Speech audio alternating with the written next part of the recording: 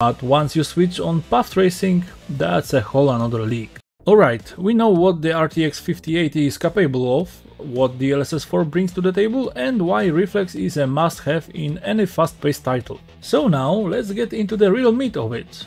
How all this actually affects the visuals. Let's start with a big question. Is it worth turning on path tracing or is classic ray tracing already doing the job? Let's find out. Even with just ray tracing enabled, Doom the Dark Ages look like a million bucks. You get realistic reflections on metal and glass, dynamic lighting, physically accurate shadows and global illumination. The lighting effects are stunning and do a great job highlighting the medieval fantasy architecture and environmental details. But once you switch on path tracing, that's a whole another league.